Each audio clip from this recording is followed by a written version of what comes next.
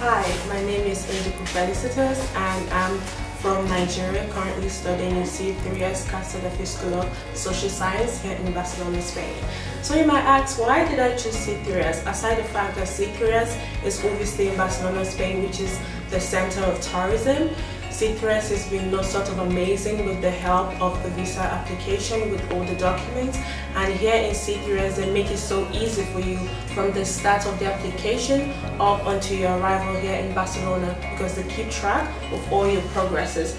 with your visa application. And the professors here in school are really learned professors with degrees and they help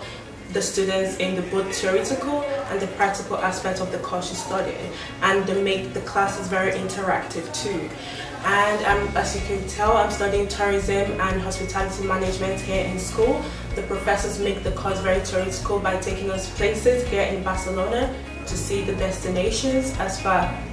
according to the course we're studying here in C3S. Thank you very much.